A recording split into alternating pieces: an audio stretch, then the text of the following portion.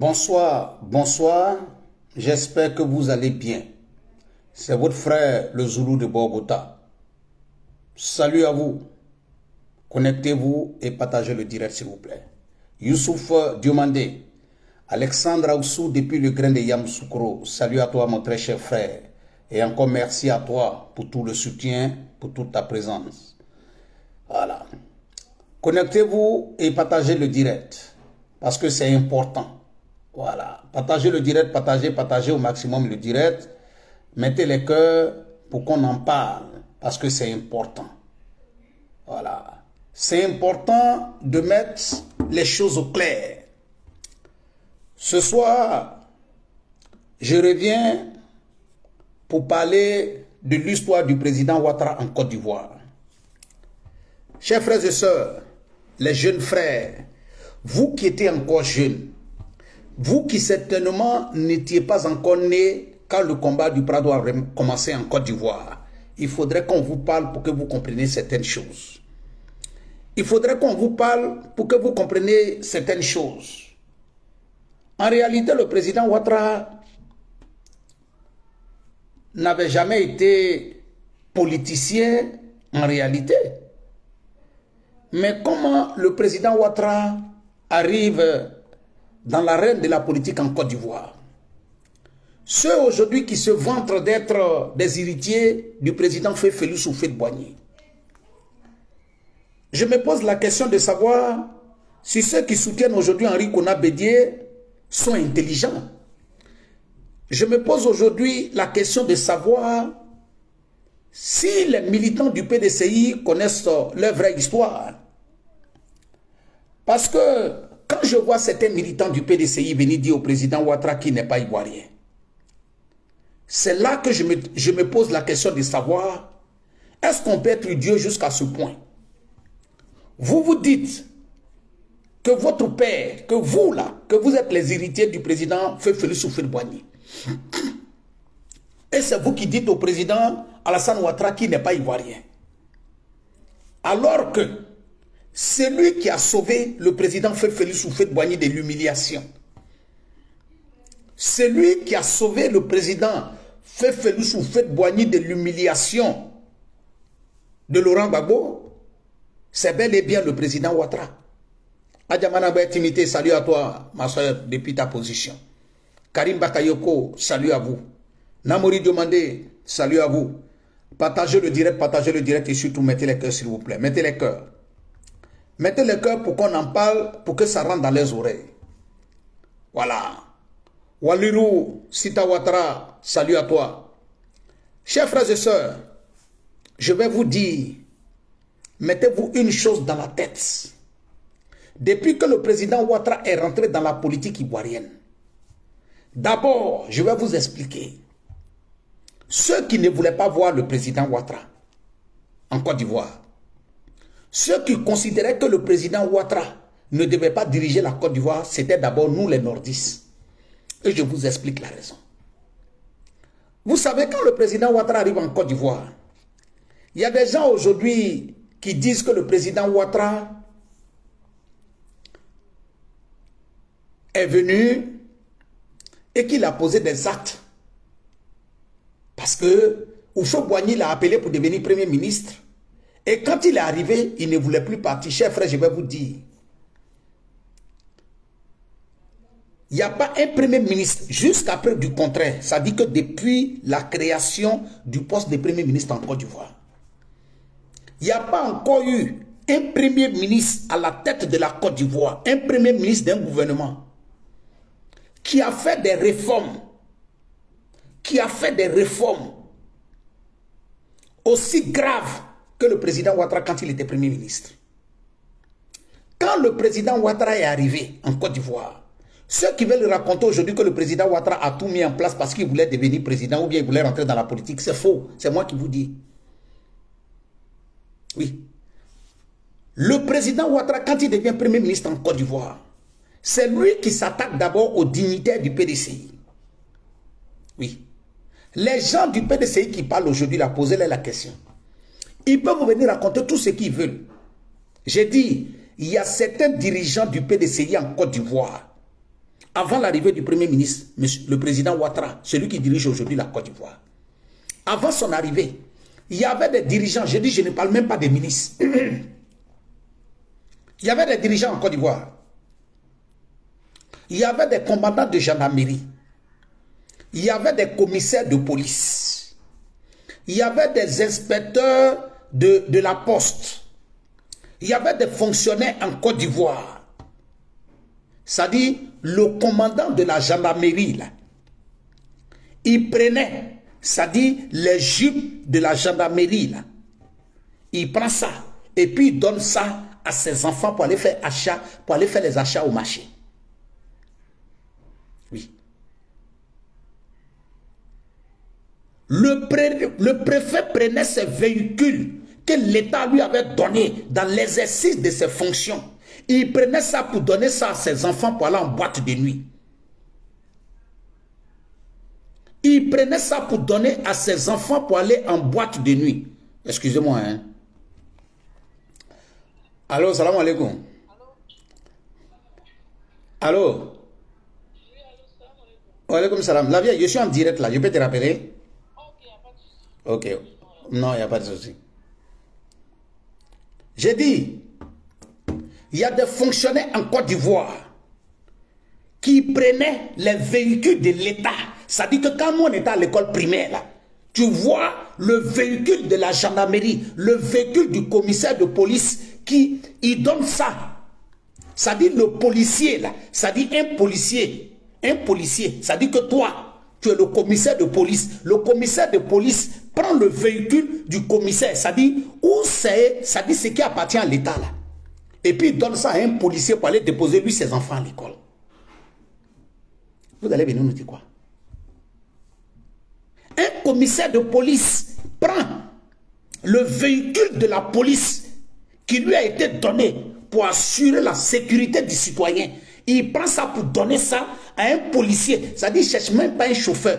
Tellement il n'a pas de respect le policier. Il prend ça pour donner ça à un policier de son commissariat pour aller déposer lui ses enfants à l'école. Et ce policier-là, quand il doit prendre ses enfants pour aller à l'école, ce n'est pas les enfants qui sont prêts. Hein.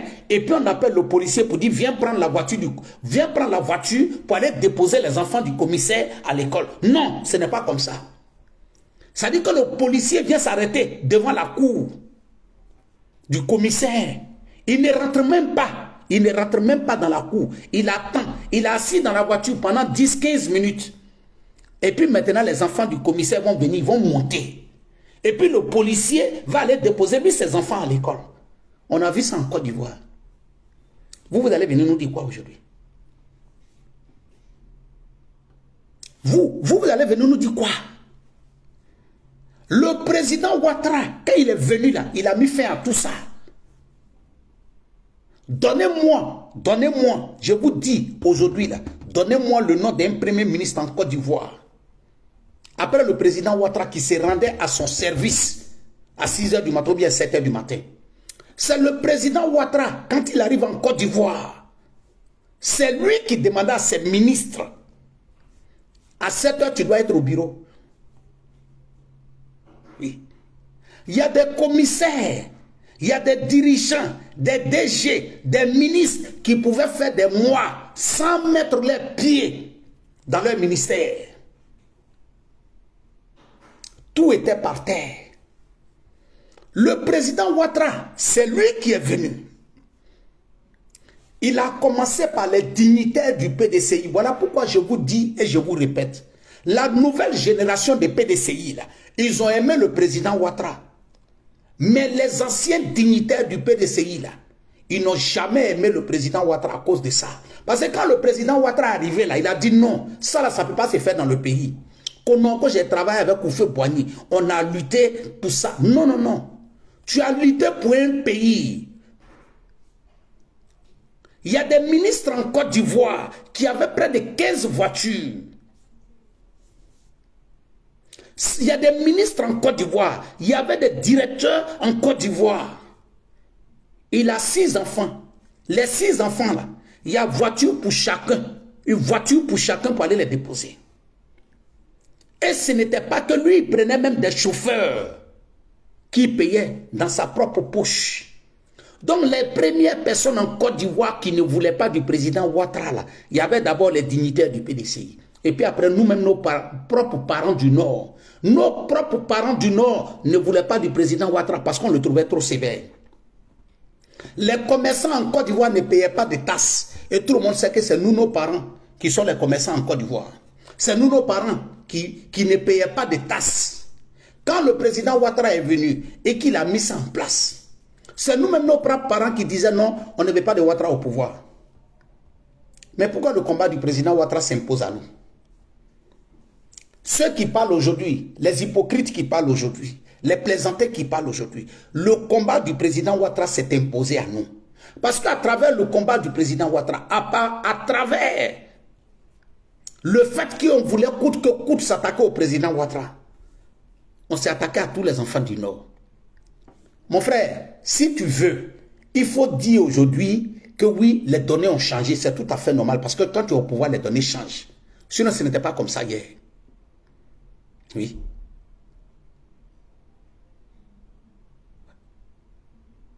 C'est ça. Prenez les véhicules de l'État. Ils prenaient les véhicules de l'État pour leurs besoins personnels. vous allez venir nous parler de quoi? Autant, autant du PDCI au pouvoir, mon frère, il faut venir me dire, faut venir me dire quelle société, quelle société qui avait pour PDG un enfant du Nord. Il n'y en avait pas quand le PDCI était au pouvoir. Tous les DG, les directeurs généraux des grandes sociétés en Côte d'Ivoire étaient tous des acants.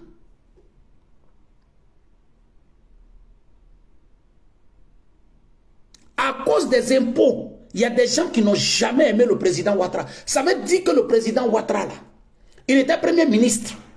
Son objectif, là, ce n'était pas pour devenir président. Parce que si son objectif était de devenir président, là, il y a des lois qu'il n'allait pas faire. Il allait dire non, si je fais ça, les gens ne vont pas m'aimer dans le pays. Donc je ne fais pas ça. Mais le président Ouattara ne l'a pas fait. Le président Ouattara a été celui qui a combattu tout le monde quand il était premier ministre en Côte d'Ivoire. Mais c'est une réalité.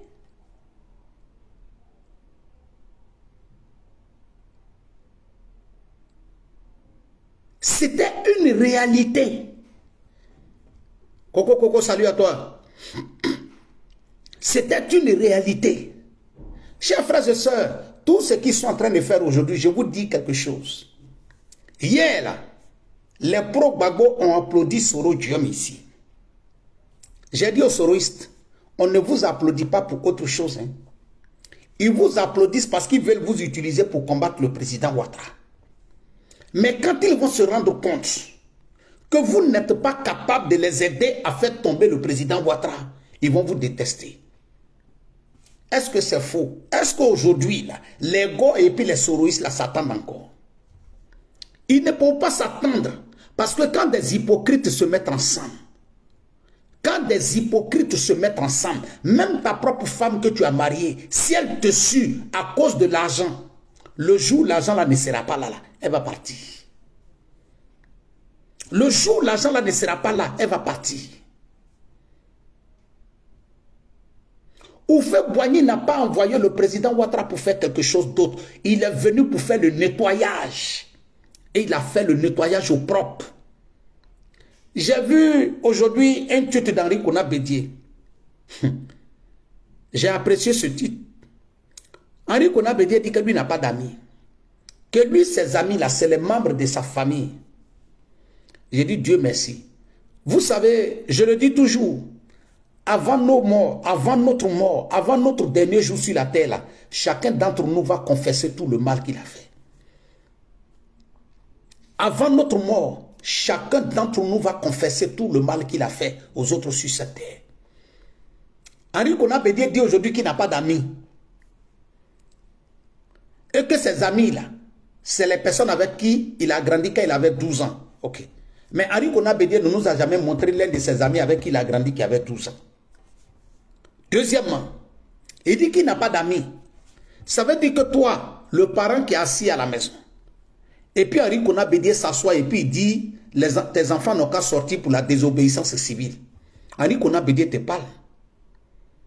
Ce que tes enfants vont gagner là, ça c'est votre problème. Lui, Henri Kona Bédier n'a rien dedans. Mettez les cœurs et partagez le direct, s'il vous plaît. Mettez les cœurs. Mettez les cœurs et partagez le direct. Mettez les cœurs. Henri Kona Bédier dit qu'il n'a pas d'amis. Ça doit t'interpeller. Tu dois comprendre. Effectivement, nous on sait que tu n'as pas d'amis.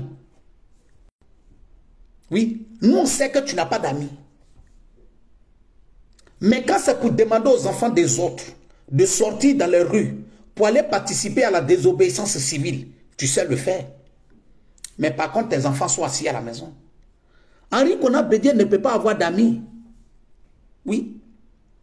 Tu ne peux pas avoir d'amis. Parce que parmi toi, tes promotionnels, il n'y a pas quelqu'un qui a l'âge de 26 ans à fêter ses milliards en Côte d'Ivoire. Qui a fêté ses milliards en Côte d'Ivoire. Par contre, toi, depuis l'âge de 26 ans, depuis, ta naissance, toi, Henri Kona Bédier, tu as toujours mangé l'argent du contribuable ivoirien. La preuve en est que le militant du PDC, quand il n'était pas d'Henri Kona Bédier, il n'était pas jamais, il ne mentionne jamais les diplômes d'Henri Kona Bédier. Il ne te mentionne jamais les diplômes d'Henri Kona Bédier. Parce que quand tu vas me mentionner les diplômes d'Henri Kona Bédier, je vais dire bravo, il a étudié, on a compris. Bon, il faut me montrer la société dans laquelle il a travaillé.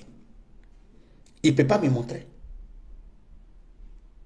Donc du coup, là, il ne pourra jamais, le militant du PDCI ne pourra jamais te parler le Conan Bédier en venant te dire qu'il a étudié dans tel coin, il a diplôme.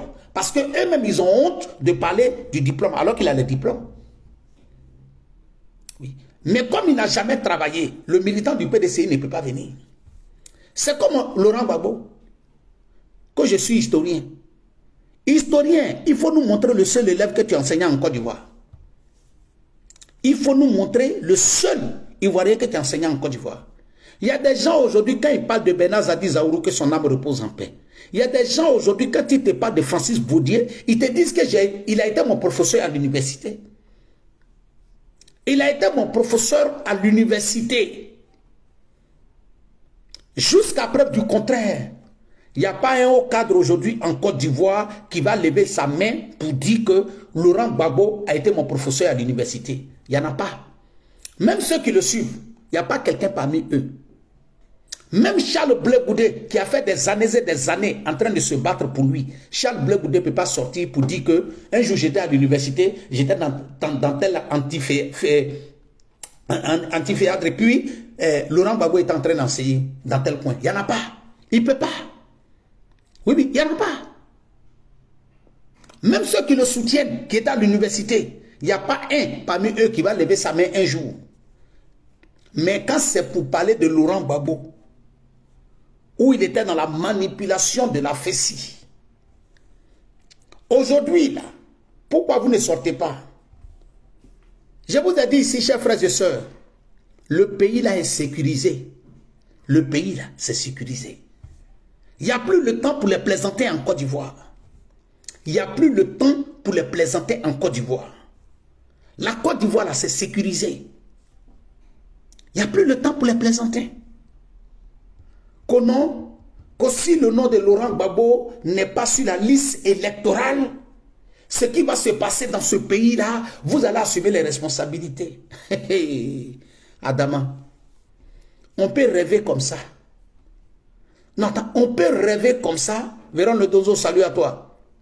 On peut rêver comme ça. On peut se lever et puis se mentir soi-même. Ma ici, c'est salut à toi, ma très chère petite depuis ta position. On peut se mentir soi-même comme ça. Que si le nom de Laurent Babo n'est pas sur la liste électorale, vous allez comprendre. Le nom de Laurent Babo ne sera pas sur la liste électorale. Je vous ai déjà dit ça ici son nom ne sera pas sur la liste électorale, chers frères et sœurs.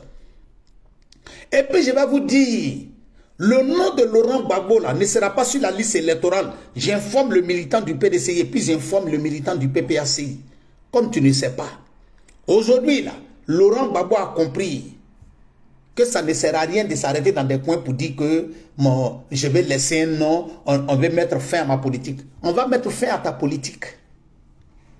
On va mettre fin à ta politique. Oui, oui. Ton nom ne sera pas sur la liste électorale et puis ça ne va pas quelque part. Oui.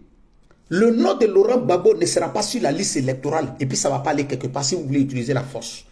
Sinon, venez nous expliquer maintenant là, pourquoi le militant du PPACI là, Kone Katina vient nous dire ce que, ce que est en train de faire en bas. Il faut venir nous dire. Vous venez crier ici, alors que votre leader, après, il appelle le président Ouattara pour lui demander pardon. Posez-vous la question, pourquoi problème de, du nom de Laurent Gbagbo sur la liste électorale Pourquoi a fait de Laurent Gbagbo sur la liste électorale là Pourquoi les gens ne parlent plus? Parce que Gbagbo même leur a parlé. Gbagbo leur a parlé. Gbagbo leur a dit donc qu'à se calmer. Parce que Gbagbo même sait que si vous ne vous calmez pas, vous allez partir en prison cadeau. Et puis ça ne va pas aller quelque part. Ça ne va pas aller quelque part. Voilà. Fatima Zarabamba, salut à toi ma très chère petite soeur depuis ta position. Zaki Lajoie, sois salué mon petit frère depuis ta position. Partagez le direct et mettez les cœurs s'il vous plaît. Partagez, partagez, partagez les cœurs et mettez les cœurs. Voilà. Mettez les cœurs, mettez les cœurs. Quand j'entends ici Laurent Gbagbo dire non, moi j'ai été insulté dans le pays ici, on m'a insulté matin, midi et soir, je n'ai jamais mis les gens en prison. Oui. Mais tu as fait le pire que les mettre en prison. Tu as fait le pire que les mettre en prison. Parce que tes discours sont là. Tes discours où tu as demandé à la police ivoirienne de mater les gens et qu'après on va parler. Sarah Silla, salut à toi depuis ta position. Kone Fetege, salut à toi. Ma très chère soeur, Kouyaté Deka, salut à toi depuis ta position. Si c'est Falak, salut à toi depuis ta position. Partagez le direct et mettez les cœurs s'il vous plaît. Partagez le direct et mettez les cœurs. Mettez les cœurs s'il vous plaît. Hein? Vous ne pourrez rien nous dire que nous on n'a pas vu dans le pays. Vous ne pouvez pas nous effrayer. Nous, on est serein. Vous ne pouvez pas nous effrayer. Que le militant du PPACI, le militant du PDCI se mette une chose dans la tête. Vous n'allez pas pouvoir effrayer quelqu'un ici. Oui. On a de la peine pour vous. On a de la pitié pour vous. 18 milliards. Cette histoire de 18 milliards, on ne peut pas oublier. Hein? Avec l'escadron de la mort qui était que Laurent Gbagbo avait installé. Mais qui avait cœur de s'arrêter et d'insulter Laurent Gbagbo? Et puis toi, tes parents ne vont pas commencer à pleurer la nuit. Aujourd'hui, il y a des gens qui insultent le président Ouattara et puis sont en Côte d'Ivoire. Ça ne va pas quelque part. Parce que le président Ouattara, c'est un pardonneur. Adomania France, salut à toi. Kassoum Ouattara, salut à toi. Mettez les cœurs, s'il vous plaît. Mettez les cœurs et partagez le direct. Mais vous, vous allez venir nous dire quoi? Que nous, on ne sait pas. Vous ne pouvez pas venir nous dire quelque chose. Hein? On a vu les, Henri qu'on a bédié. Toi, tu n'as jamais travaillé dans une société. Tu n'as jamais fait quelque part. Tu n'as jamais travaillé quelque part. Mais c'est toi qui fais les milliards. Au temps du PDCI, quand les douaniers ont demandé l'augmentation des salaires, ils ont été convoqués à Yamoussoukro. Oufé Boigny a été clair avec les douaniers en Côte d'Ivoire. On n'augmente pas le salaire. Si vous ne voulez plus travailler, vous pouvez rendre votre démission. On va recruter des jeunes pour travailler pour le pays. Toi, Laurent Gbagbo, tu as critiqué le gouvernement d'Oufé Boigny avec augmentation des salaires. Tu as critiqué Bédier. Tu as, tu as critiqué moins Guéhi parce que vous étiez en train de préparer un système pour pouvoir anéantir tous les autres opposants en Côte d'Ivoire. Tu as dit que tu vas augmenter le salaire. Mais quand tu t'es trouvé devant la réalité, où les fonctionnaires t'ont demandé l'augmentation des salaires, la réponse est là aujourd'hui. La réponse est là aujourd'hui. On sait le message que tu as lancé aux fonctionnaires. Le président Ouattara ne pourra pas pardonner tout le monde. Parce qu'à un certain moment, il faut agir. Voilà pourquoi le président Ouattara était clair.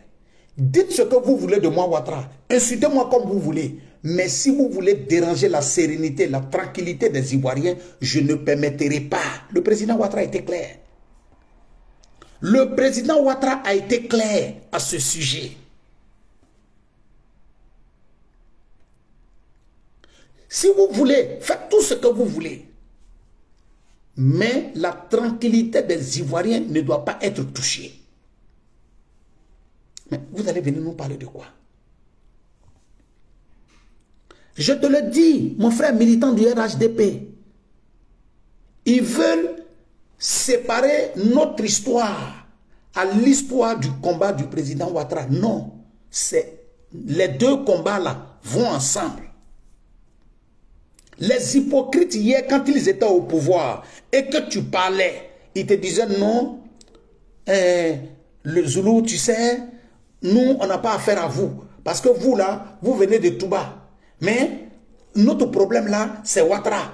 Ah, ok, j'ai compris. Mais toi, le même qui me disait ça, là, quand toi et moi, on se présente à la sûreté pour faire du passeport, les documents que toi, on te demande, là, ce pas les mêmes documents qu'on me demande. Les documents qu'on te demande, ce pas les mêmes documents qu'on me demande. Mais vous êtes en train de parler de quoi?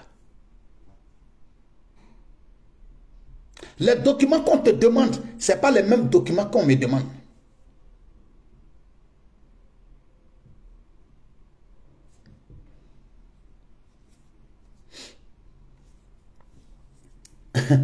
bon, vous voyez la bêtise, euh, la bêtise humaine. Que non, tu aimes le président Ouattara. Mais qu'est-ce que tu fais en Europe? Ok. C'est ça je t'ai dit.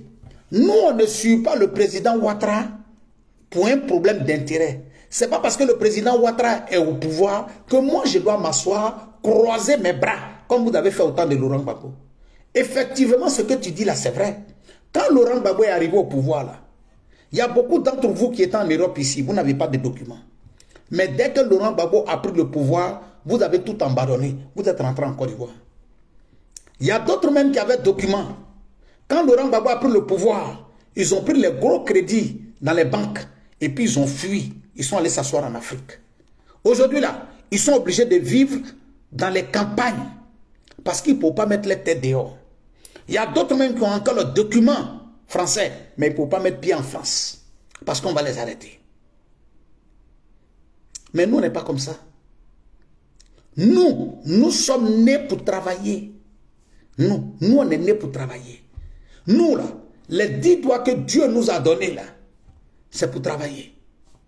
Nous, on ne s'assoit pas pour dire que, comme l'homme qu'on aime là, il est au pouvoir là, on va laisser tout, on va aller s'asseoir. Non, nous, on n'est pas comme ça. Par contre, c'est ce que vous avez fait hier. Il y a d'autres hier, après le coup d'état de Guéhi, qui ont abandonné tout en Europe ici, sont allés s'asseoir en Côte d'Ivoire. C'est de ça qu'il s'agit. Nous, on n'est pas dans ça. Nous, on n'est pas des paresseux. Nous, on n'est pas des paresseux. Alors que vous, là, vous êtes des paresseux. Nous, on n'attend pas l'argent de quelqu'un pour pouvoir nourrir nos enfants. Nous, on veut se lever pour aller travailler. C'est ça. C'est ça la différence entre vous et nous. Bonjour à toi, ma très chère petite soeur, encaissée depuis ta position. J'espère que tu vas bien. Voilà. J'espère que tu vas bien. Voilà. Partagez le direct et mettez les cœurs, s'il vous plaît. Partagez le direct et mettez les cœurs. Excusez-moi.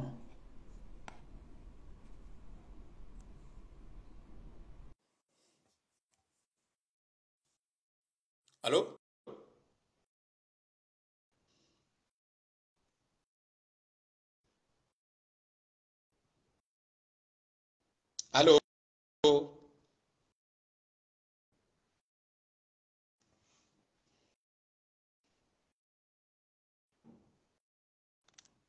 Ok.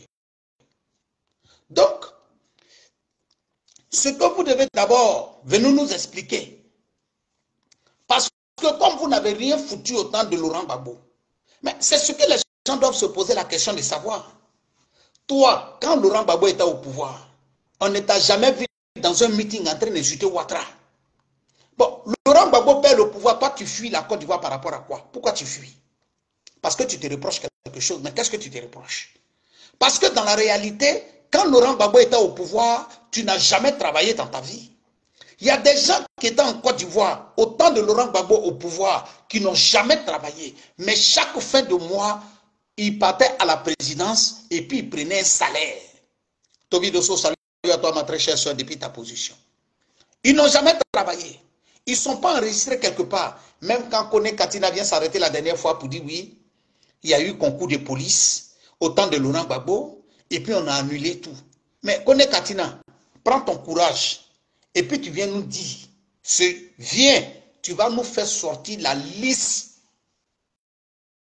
la liste de tous ceux qui avaient, comment on appelle, euh, tout le concours dont tu parles là. Viens nous donner la liste des admis là.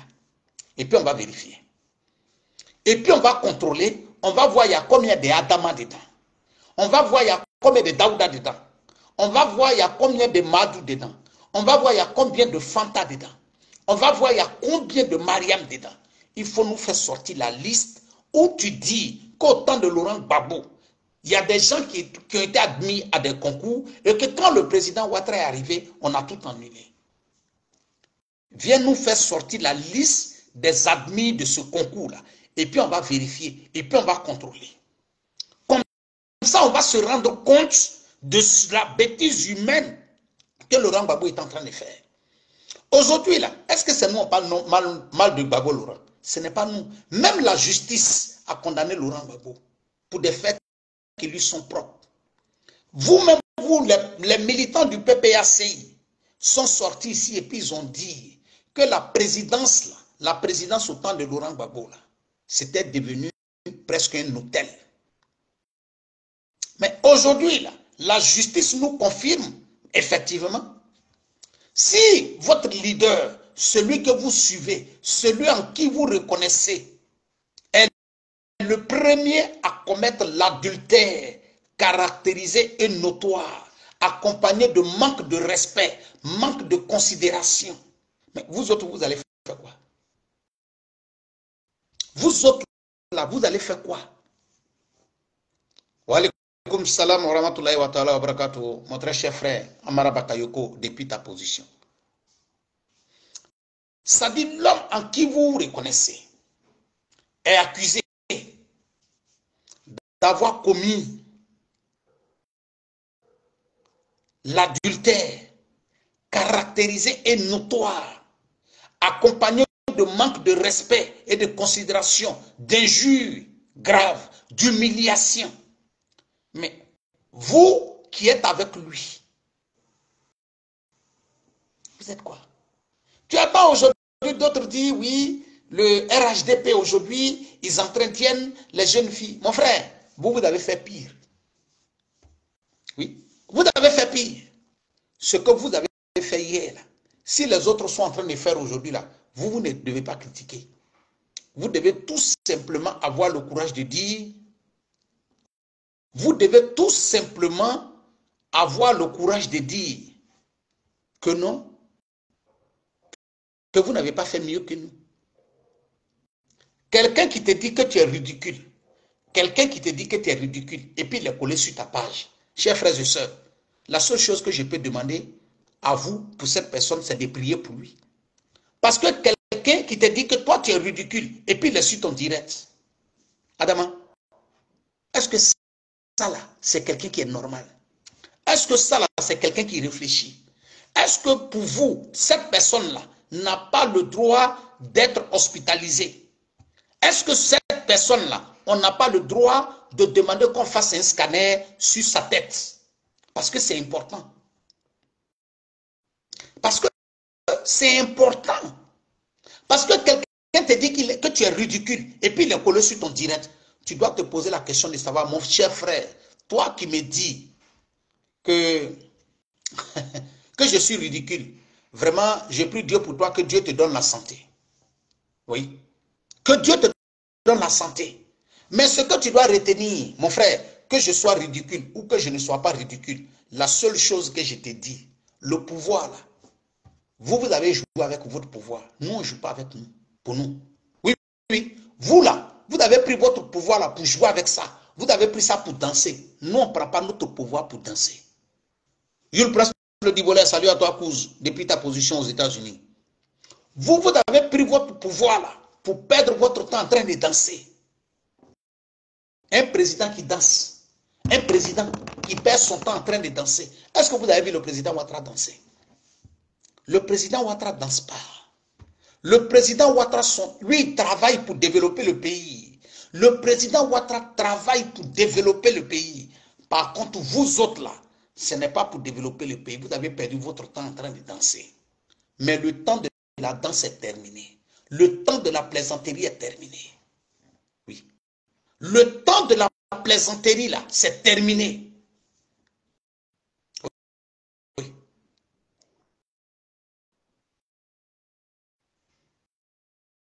Voilà. ta mère, merci à toi. Voilà. Le temps de la plaisanterie est terminé. La Côte d'Ivoire aujourd'hui, là, la Côte d'Ivoire n'est pas gérée par des danseurs. La Côte d'Ivoire aujourd'hui est respectée. Voilà. La Côte d'Ivoire aujourd'hui, là, c'est respecté. J'ai dit hier à mes frères sénégalais, j'ai dit, quand tu ne connais pas la politique, c'est vrai que nous autres, on n'a pas certainement eu la chance de, de peut-être avoir de hautes responsabilités en politique. Mais quand il y a des situations qui se passent, tu lis dans les deux lignes. Je le dis aujourd'hui, quand tu, mènes, tu fais la politique en Afrique aujourd'hui, et puis les panafricains te soutiennent, mon frère, ton destin, ton destin politique va finir.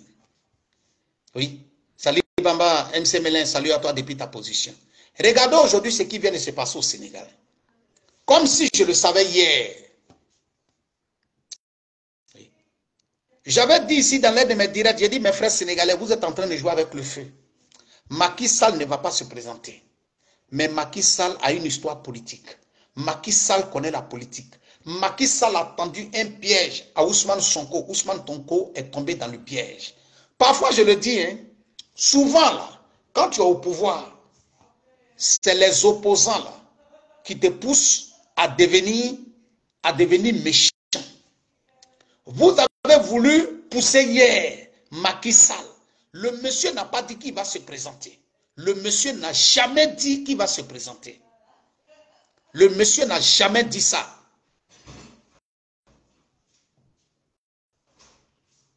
Voilà. Le monsieur n'a jamais dit qu'il va se présenter. Jamais. Il n'a jamais dit qu'il va se présenter. Ils sont sortis pour dire que selon eux, Macky Sall va se présenter. J'ai dit non. Chers frères et sœurs, ce Ousmane Sonko là, politiquement là, Macky Sall va le détruire. Aujourd'hui là, voilà la, réalité qui est là. Adja Binta, Aye, Massare, salut à toi depuis ta position. J'ai dit, d'avoir mettre le transitaire, salut à toi mon très cher petit frère depuis ta position. Partagez le direct. J'ai dit, Ousmane Sonko, les panafricains vont te détruire.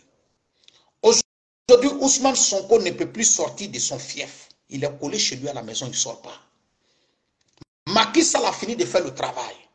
Il dit aujourd'hui qu'il ne se présente pas. Mariam Kabore, salut à toi. Macky Sall dit qu'il ne se présente pas. Il se retire. Bon, aujourd'hui, qui peut accuser Macky Sall pour tout ce qui s'est passé? Macky Sall n'a jamais déclaré dans sa bouche, je me présente, je vais faire un troisième mandat, je ne vais pas faire un troisième mandat. Ousmane Sonko a poussé les gens. J'ai dit, vous avez fini de détruire votre pays. Vous avez fini de détruire votre pays. Vous avez tout brûlé. Mais une chose est sûre.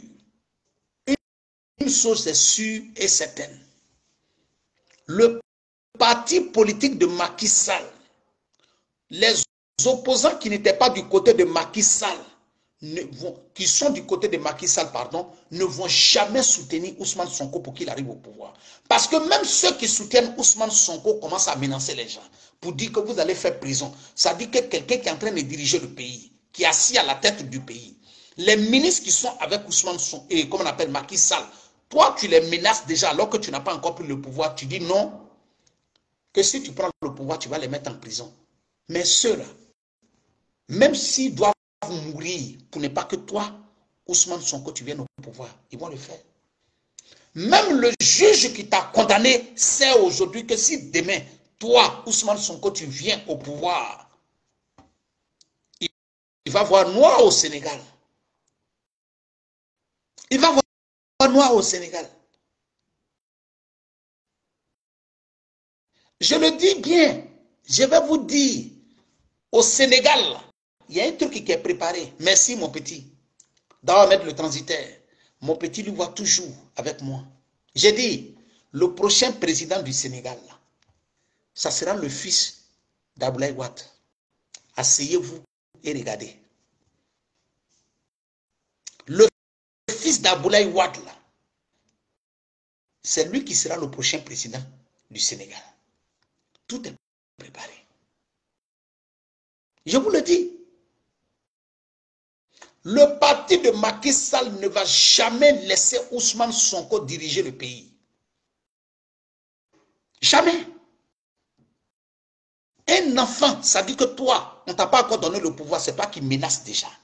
C'est toi, tes partisans qui considèrent que quand tu vas arriver au pouvoir, tu vas mettre les gens en prison. Aïe, mais c'est la même chose qui se passe en Côte d'Ivoire. Les gosses sont assis et puis ils nous disent, quand le 6 va devenir 9, ah ok, quand le 6 va devenir 9, on a compris. Bon, et si le 6 ne devient pas 9 Parce que toi, tu as posé une condition. Tu dis si le 6 devient 9. Bon, maintenant, moi, je te dis, le 6, là, ça ne va jamais devenir 9. Oui. Le 6 ne va jamais devenir 9. Parce que si le 6 devient 9, là, ça veut dire que toi, votre parti va venir s'asseoir au pouvoir. Vous nous menacez. Vous ne dites que si vous, là, le 6 devient 9, c'est qu'on va vous montrer en Côte d'Ivoire, vous allez comprendre. On a compris. Mais comme tu dis que si le 6 devient 9, bon, maintenant, et si le 6 ne devient pas 9 Ousmane Sonko, toi tu es jeune, c'est les gens comme les Sorodium qui veulent utiliser que la violence, qui ne réfléchissent pas. Bon, toute cette manifestation-là, ça fait combien de temps aujourd'hui Ousmane Sonko, aujourd'hui, ne fait pas de manifestation aux, aux sources Hein? Le 6 ne deviendra pas neuf. Jamais. Le 6 ne peut pas devenir neuf. Aïe. J'ai dit, vous allez marcher sur nos corps pour que le 6 devienne neuf. Oui. Vous allez boire nos sangs pour que le 6 devienne neuf. Vous allez nous faire disparaître de cette planète pour que le 6 devienne neuf. Parce que de nos vivants, de notre vivant, Jamais le 6 va devenir 9. On est prêt à aller au couillis jusqu'à la fin. On est ensemble. Vous et nous, là, on est ensemble. Jamais on ne vous laissera. Que non, que le 6 va devenir 9. Le 6 peut devenir 9. Le 6 ne peut pas devenir 9. Et le 6 ne sera jamais 9. Oui. Le 6 ne sera jamais 9. Et on ne laissera jamais le 6 devenir 9. Mettez-vous ça dans la tête. Parce que nous savons, nous connaissons notre histoire. Si on laisse le 6 devenir 9, là, c'est qu'on ne connaît pas notre histoire. Aïe! Kwame Alain Kwadio. Kwame Alain Kwadio, tu dis quoi?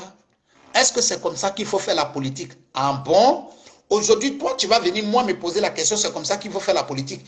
Viens me dire, quand le PDCI était au pouvoir, là, comment vous avez fait la politique? Quand le PDCI était au pouvoir hier, là, comment vous avez fait la politique? Mais vous parlez de quoi? Depuis combien d'années on vous tend la main? Quand on vous tend la main, vous dites non, ce n'est pas la main là. On vous tend la main pour venir vers la paix. Vous dites non, ce n'est pas la main qui te suffit. La main là ne te suffit pas, c'est le bras que tu veux. On te donne le bras, tu dis non, il faut ajouter la tête. On ajoute la tête, il dit non, il faut ajouter le tronc. On ajoute le tronc, tu dis non, il faut ajouter tes deux jambes. Non, vous voulez quoi? Donc nous, on va rester là éternellement en train de vous, vous tendre la main. Quand on vous tend la main, vous coupez. Quand on vous tend la main, vous coupez. Hein? Et puis tu dis non, ça a été une erreur, j'ai coupé, coupé ta main là, ça a été une erreur. Il faut envoyer ton épaule. Quand on envoie l'épaule, vous coupez encore. Après, tu dis non, on peut se tromper une deuxième fois. Je me suis trompé. Mais envoie ta tête. Mais quand j'envoie ta tête, je te vois que tu es en train de venir avec un marteau derrière moi. Alors je me rends compte que j'ai déjà fait des erreurs en te donnant ma main et puis tu as coupé. Mais je ne peux plus faire cette erreur-là en te donnant ma tête. Parce que mes enfants ont besoin de ma tête. Ma famille a besoin de ma tête. C'est de ça qu'il s'agit. Donc là, racontez ce que vous voulez. C'est comme ça on fait la politique. C'est pas comme ça on fait la politique. C'est vous qui voyez comme ça. Oui, oui. Damele Soumaïla, salut à toi. C'est comme ça on fait la politique. C'est pas comme ça on fait la politique. Ça, c'est pas notre problème. Toujours est-il que ce qu'on vous dit, le pouvoir là, on ne peut pas vous donner. Le temps de la plaisanterie est passé. Oui, oui. Le temps de l'amusement est passé. Le pouvoir là, on ne peut pas vous donner. Parce qu'on sait ce que vous pensez de nous. Ce qui est important pour vous, c'est de nous effacer sur cette planète. On n'acceptera pas. Oui, oui. Je vous ai toujours dit, vous n'êtes pas les maîtres de la violence. Vous n'êtes pas les maîtres de la violence. Vous, n'êtes pas les maîtres de la violence. Salam à toi, mon très cher petit frère, depuis ta position, Lamine Sanogo. Voilà. Chéri Faïdara, salut à toi mon très cher frère Amoudi, j'espère que tu vas bien. Voilà. Vous ne pouvez pas nous intimider. On ne peut pas s'amuser avec vous. Nous savons ce que vous pensez de nous. Oui. Vous nous avez déjà montré, quand vous, étiez aux commandes dans ce pays-là, vous nous aviez montré. C'est de ça qu'il s'agit. On ne va pas tourner par mille chemins pour vous parler. Le seul langage avec lequel on doit vous parler, c'est ce langage. Parce que c'est ce que vous aimez. Oui. Lina Sirani, salut à toi. Oui.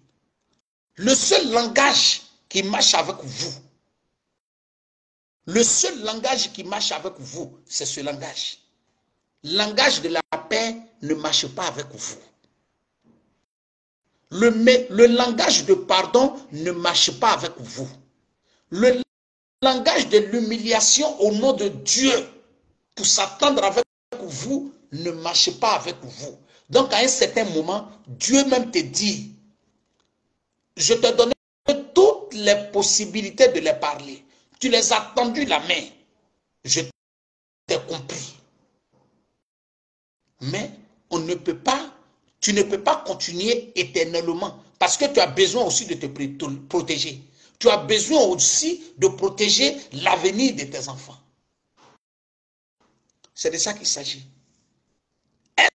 Est-ce qu'il y a une manière de tendre la main à l'opposition que de laisser aujourd'hui tous les collaborateurs de Laurent Gbagbo et Laurent Gbagbo lui-même rentrer en Côte d'Ivoire? Est-ce qu'il y a une autre manière de tendre la main aux opposants, autre que ce que le président Ouattara a fait. Mais si jusqu'à preuve du contraire, vous avez une idée, votre souci, ce n'est pas de voir une Côte d'Ivoire de paix, une Côte d'Ivoire tranquille. Par contre, aujourd'hui, le président Ouattara s'est battu pour que la Côte d'Ivoire soit tranquille, pour que la Côte d'Ivoire soit un pays de paix. Si vous voulez venir déranger cette paix, vous voulez bafouer cette paix. Je sais qu'il y a d'autres aujourd'hui qui sont assis et qui disent, qui sont là et qui disent, bravo aux Sénégalais, bravo aux Sénégalais. Mon frère, je vais te dire, faut pas, on va se mentir. Le Sénégal, c'est le Sénégal. La Côte d'Ivoire, c'est la Côte d'Ivoire. Je vais te dire, ce qui s'est passé au Sénégal, je vous dis matin, midi et soir, ça ne va pas se passer en Côte d'Ivoire. Ce qui se passe au Mali, ça ne peut pas se passer en Côte d'Ivoire. Ce qui se passe en Guinée, ça ne peut pas se passer en Côte d'Ivoire. Oui, oui. Parce que le pays là, la Côte d'Ivoire là, la Côte d'Ivoire est gérée. La Côte d'Ivoire est, dirigée par un chef. Oui, oui. Le, président Ouattara a tout réuni pour que la Côte d'Ivoire soit protégée. Nous, on n'est pas dans les tabac tabac. Hein. On n'est pas dans les amusements. Hein. On n'est pas dans les amusements. Celui qui veut déranger la sérénité du pays, la tranquillité du pays, là, chers frères et sœurs, tu vas lire Je vous ai déjà dit ça. Ma très chère grande sœur, Konate Doumia Touré, salut à toi. Allah. Ça se passe de l'autre côté, mais chez nous en Côte d'Ivoire, ça ne se passe pas. Oui.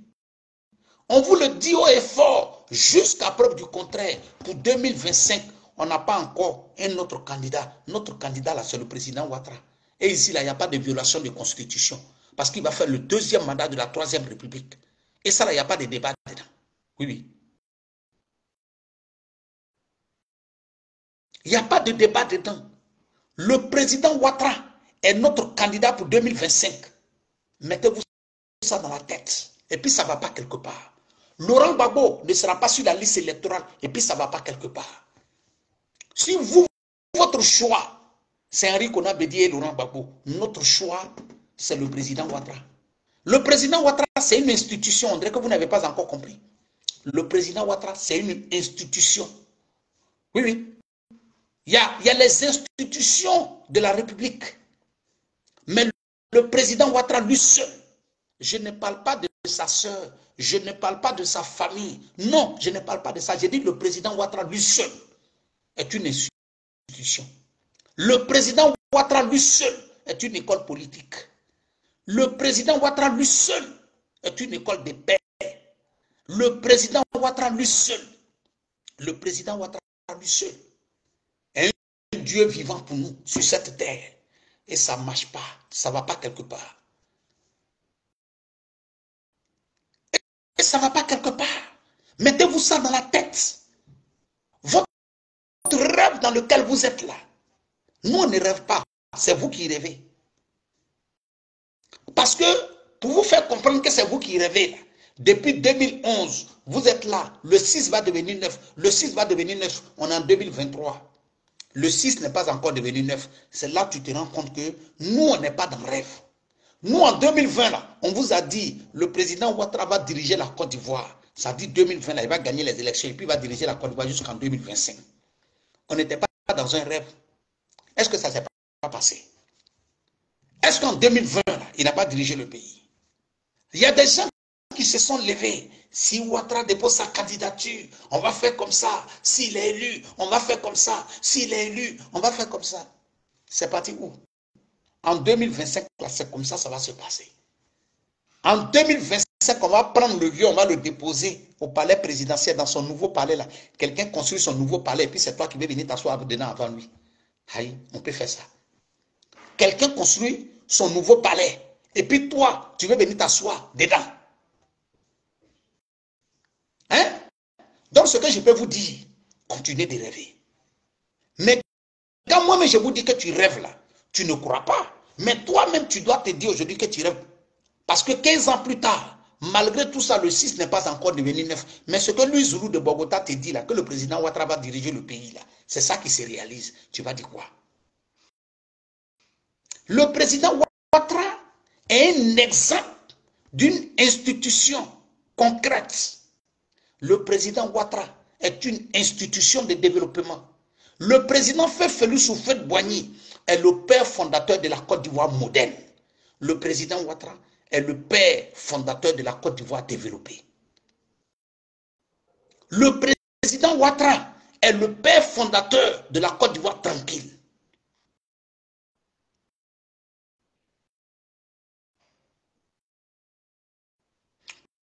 Aujourd'hui, la Côte d'Ivoire, le président Ouattara, est une institution de la chasiesse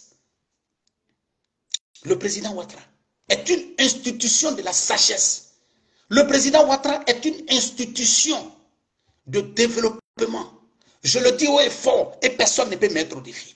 Le président Félix de Boigny, retenez cette phrase, le président Félix de Boigny est le père de la Côte d'Ivoire moderne. Et quand on parle de Côte d'Ivoire moderne, c'est quoi c'est la création d'institutions. Assemblée nationale, élections, la création des préfectures, des sous-préfectures. Mais le père fondateur d'une Côte d'Ivoire développée, c'est le président Ouattara. Parce que même dans le travail de cette Côte d'Ivoire moderne, le président Ouattara a y participé parce qu'il a été le premier, tout premier premier ministre de la Côte d'Ivoire. Donc même dans, la création de cette Côte d'Ivoire moderne, le président Ouattara y a participé. Il a participé en respectant de bout en bout, de la lettre A à la, à la lettre Z, les conseils. Conseils. Et surtout, les ordres du président Fefele Soufouet-Boigny. Mais la Côte d'Ivoire moderne est un travail élaboré par le président Ouattara. Et ce n'est pas un débat. Aujourd'hui, regardez, il y a combien de chaînes privées en Côte d'Ivoire? Il y a combien de chaînes privées en Côte d'Ivoire? Regardez aujourd'hui sur les réseaux sociaux, combien d'Ivoiriens aujourd'hui parlent de la politique de leur pays? Le président Ouattara a incarné, a poussé les Ivoiriens, que tu sois opposant ou que tu sois avec lui, à participer à la vie politique de son pays. Et c'est ce qui est important.